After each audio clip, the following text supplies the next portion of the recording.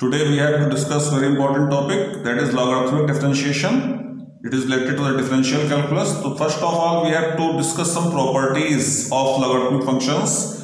So these properties are if there are two numbers in multiplication log mn to add same base that will be log m plus log n. Similarly in place of division they will be the log m minus log m separately. And similarly log a base m power m base a that will be n log m. Power will come in starting.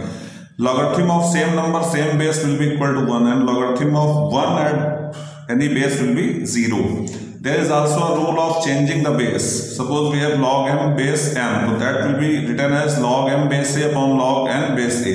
It means same base will be allotted to both of the fractions now the questions which are asked, they are related to the functions in which we have to taking the logarithm. Suppose we have y is x power x and we have to find dy upon dx. So first of all we have to take the logarithm on both sides. Logarithm हम तभी लेते हैं जब there is requirement of uh, there is function in the power of function. तभी हमें log की ज़रूरत पड़ती है तो taking log log y that will be x log x by the property now differentiating with respect to x x के respect में जब डिफरेंशिएशन करेंगे तो हियर इट इज़ y तो log का डिफरेंशिएशन क्या होता है 1 upon y and y with respect to x will be dy by dx here we have two functions so we have to use the product rule first function differentiation of second plus second function into differentiation of first and this will be cancelled out that will be 1 plus of log x and y will be cross multiplied in this side on RHS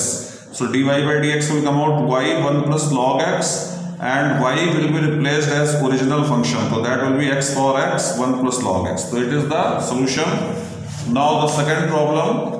This question is also asked in long answer questions. So here we have a problem that y is x power sine x plus sine x power cos x and we have to evaluate dy by dx. So there are two functions to let them u and v and same process will be repeated here as we have stated in previous question. Take u and v as separate functions and take the log on both sides. There will be two functions and use the product rule and log u will come out 1 upon u du upon dx first and second functions first function differentiation of second plus second differentiation of first and by cross multiplying u we will get du upon dx it is the first part after that second function is sin x whole power cos x. So take log on both sides. So log we will come out cos x log sin x. Again differentiate with respect to x and the same result will come. Here will be also two functions. First term differentiation of second plus second into differentiation of first. And we will be cross multiplied in order to evaluate dv upon dx. And finally these two results will be added when you will write your answer. So in writing the answers, these two results will be added and it will be your answer. Thanks for watching.